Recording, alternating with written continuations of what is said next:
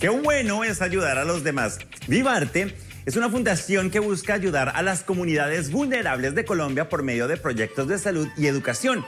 Este año se unió a las fundaciones First Step, Big Step y Primero lo Primero para recaudación de fondos. Así, fortalecidos y en Patota organizaron una subasta silenciosa de arte contemporáneo colombiano que se hizo aquí en Nueva York en la prestigiosa Casa Phillips. Había dibujos, esculturas, obras sobre papel, bordados, fotografía y animación de más de 30 artistas, entre los que están Olga de Amaral, Iván Argote, Natalia Arias, Fanny Sanín, famosísima, Mónica Bravo, Santiago Parra y Adriana Echavarría. Y buenas noticias, se vendió un total de 591.750 dólares con un beneficio neto de casi 250 mil dólares. Esta plática se va a invertir en diferentes proyectos que buscan el bienestar de los niños y los jóvenes de nuestro país. Muy chévere.